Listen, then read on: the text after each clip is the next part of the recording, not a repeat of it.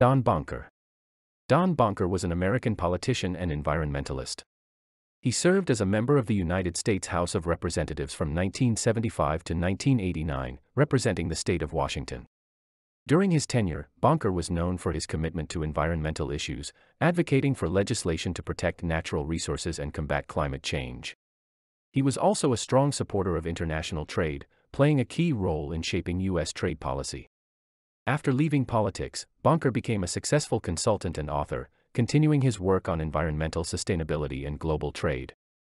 John LaBarca John LaBarca, the popular Connecticut radio personality who hosted Italian House Party, has died at age 76, according to social media posts and the news blog Only in Bridgeport. Details of LaBarca's passing were not immediately available, but the radio host was known for his upbeat personality, and in addition to Italian House Party, LaBarca was also the morning radio host on WICC for 20 years, reported the Laurel. Jessie Maple Jessie Maple was an accomplished African American filmmaker and trailblazer in the film industry. She began her career as a production assistant in the late 1960s, eventually becoming one of the first African American women to join the International Photographers of the Motion Picture Industry. In 1981, she wrote, directed, and produced her groundbreaking feature film, Will, making her the first African American woman to independently produce a feature length film.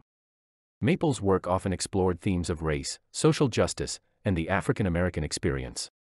She continues to inspire aspiring filmmakers and is celebrated as a pioneer in the industry. Dickie Harrell Dickie Harrell was an influential American drummer and a key figure in the early development of rock and roll music.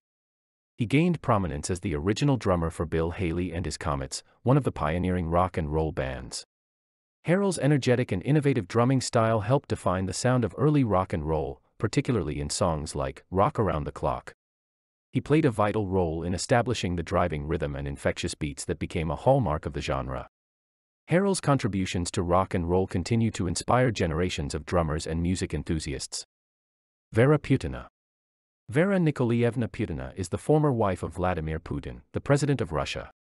She was married to Putin from 1983 until their divorce in 2014. Vera's life remained relatively private during her marriage, and she focused on raising their two daughters, Maria and Katerina. She had a career as a lecturer at Leningrad State University and later worked in the field of pediatric medicine. After her divorce, she largely retreated from the public eye and has maintained a low profile since then.